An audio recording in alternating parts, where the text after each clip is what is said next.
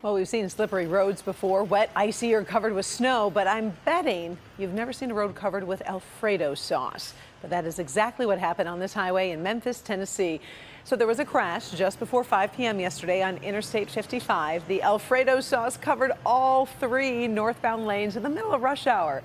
The truck hit a retaining wall. One person was taken to the hospital, is expected to recover. Oof, what a mess. Well, we are seeing more evidence Bed Bath & Beyond is really struggling as the retailer is making some staff cuts and also closing stores.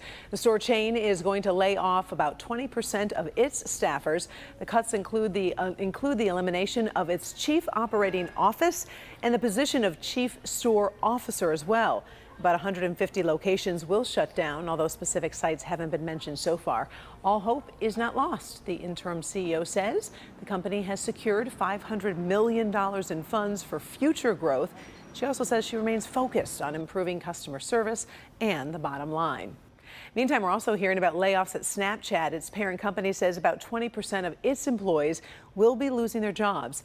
That's about 1,200 people worldwide. The company's CEO says it's focused on community growth, revenue growth, and augmented reality. But its stock price has been falling following those minimal sales growth records. All right, it's kind of an exciting time in space exploration. Earlier, we've been talking about the Artemis launch, and now we have new photos from the Phantom Galaxy. The James Webb and Hubble Space Telescopes have captured these new images.